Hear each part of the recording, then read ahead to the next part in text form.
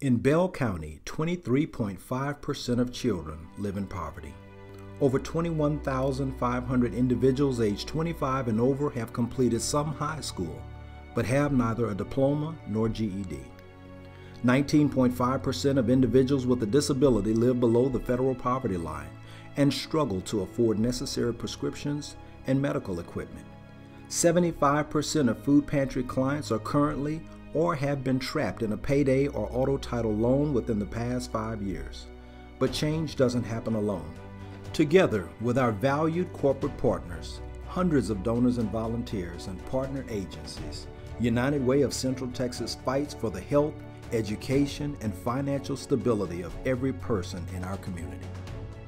Together, we help break the cycle of poverty by connecting over 42,000 callers to services through the 211 helpline.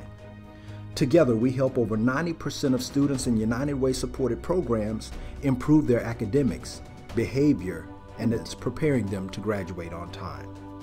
Together, we help over 170 clients per year receive prescriptions and medical equipment through the Bridges to Wellness and Health program, and over 1,000 clients receive quality health care through United Way supported community clinics.